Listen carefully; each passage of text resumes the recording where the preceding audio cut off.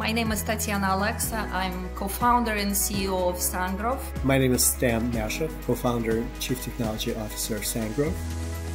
Sangrove is impact shopping meets next-gen e-commerce. We're in the middle of uh, seed round. We are raising 1.2 million. Uh, we closed so far 60%, mostly with services, and NewChip was uh, very instrumental so far in our success in fundraising. It was very, very practical, which is important for, for founders, simply because like uh, time is like of the essence. Essentially, don't have that much. So, so information was very, very useful, and uh, we could utilize it right away.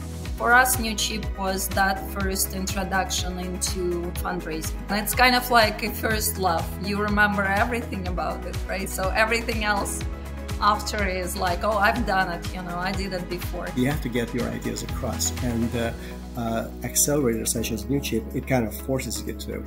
So during those classes, during those presentations, during the demo, right?